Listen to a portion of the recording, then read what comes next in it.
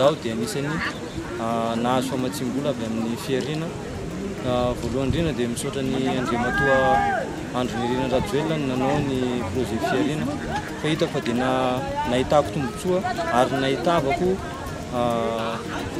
na fitomboa ny velaratany zay nataoko tsy nijanona eo amina ray ectara fa niakatra mbony deux hectara nony famatsimbola avy amin'ny fiarena